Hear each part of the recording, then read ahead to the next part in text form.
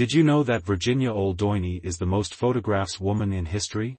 Virginia Oldoini, generally recognized as the Countess of Castiglione, is often considered one of the most photographed women in the field of photography.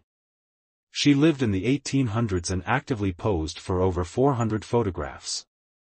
She collaborated with photographer Pierre-Louis Pierson to create remarkable pictures that showcased her beauty, clothing, and unique style choices. These images are highly regarded for their artistic arrangement and lighting. Currently, her pictures are displayed in various museums worldwide.